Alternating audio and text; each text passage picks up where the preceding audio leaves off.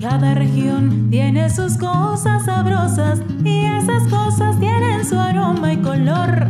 Aroma especial que, que viene de sus mujeres, color del sol, ferias, gaitas y placeres. Es algo que llevamos dentro que nos mantiene contentos, auténtico y nacional. En cualquier parte te lo encuentras y notas la diferencia con su sabor especial.